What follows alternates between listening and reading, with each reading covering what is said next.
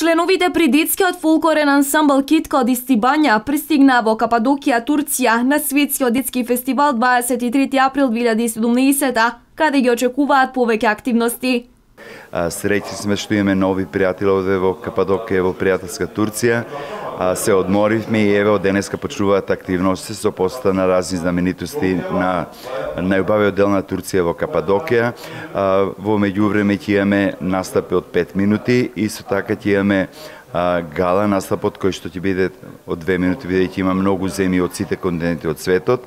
А, специјален ден ќе има за посета на, на прием кај Валијата и кај градоначалникот на Кападокија, а посебно за нас е гордост и задоволство што како македонска делегација сите наши дечиња од Китка од Истивања ќе посетиме Анкара, главниот град на Турција и ќе одадеме почит на големиот турски реформатор Мустафа Ќемал Ататурк во неговиот мавзолеј, а потоа ќе имаме прием кај премиерот на Турција, потоа кај председателот на Република Турција во големото народно собрание на Република Турција, каде што сите дечиња ќе кажат на својот јазик порака за мир и исто така прием кај генералниот директор на Турската радиотелевизија, кои што се и главни организатори на овој на секаде познат голем меѓународен фолклорен фестивал.